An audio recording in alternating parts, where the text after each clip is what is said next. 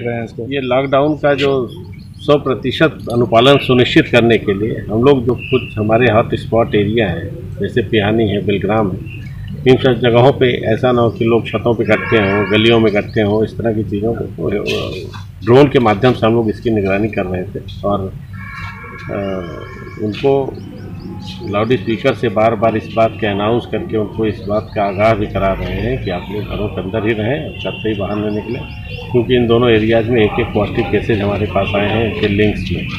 तो ये तो हमारे हॉट स्पॉट एरियाज़ हैं। इसके अलावा हम लोग कुछ और एरियाज़ को चिन्हित किए हैं, जिसमें हम लोग सौ प्रतिशत लॉकडाउन का अनुपालन सुनिश्चित कराएँगे और वहाँ बैरिकेटिंग इत्यादि लग रही है ड्यूटियाँ लग रही हैं। साथ ही साथ वहाँ भी हम लोग ड्रोन चलाएँगे कि भविष्य में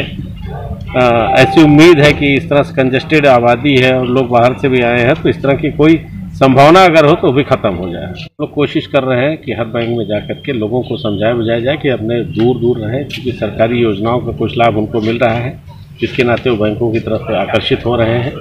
लेकिन हम लोग ये कोशिश कर रहे हैं सुनिश्चित कराने की कि वो दूर दूर रहें और अपनी बारी का इंतज़ार करें। जब उनका नंबर आए